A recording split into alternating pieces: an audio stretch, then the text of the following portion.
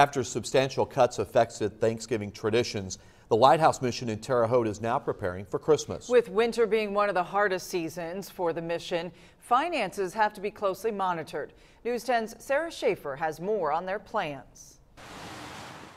It hasn't been the smoothest road lately for the Lighthouse mission. We cut out our insurance, uh, so we have no health insurance today.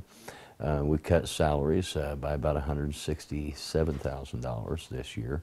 In the last couple of years, a total of about 340,000, or give or take. Those are some of the largest cuts, but along with them is a handful of others, such as their annual Thanksgiving baskets that fed countless families for years.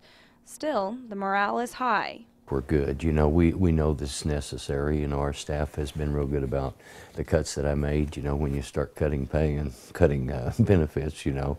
But they've all stayed. And so, I, and I think they have a heart for the ministry and, and the care for the needy here in the Wabash Valley and the homeless. And the projected budget for the upcoming year, $1,030,000.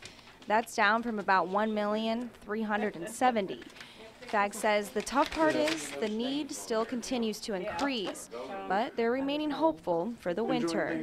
Uh, there's old song said if we make it through December, we make it through December, January, February, we're going to do good. And uh, I think that uh, things next year is going to look up much better. And predicting that for the new year, they'll be out of the negatives and running financially sound.